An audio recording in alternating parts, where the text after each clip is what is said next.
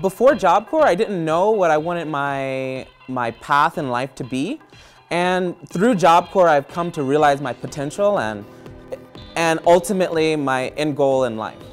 Oh yeah, it definitely is. It's helping me to get my career in the future for myself and then learn about many things in life.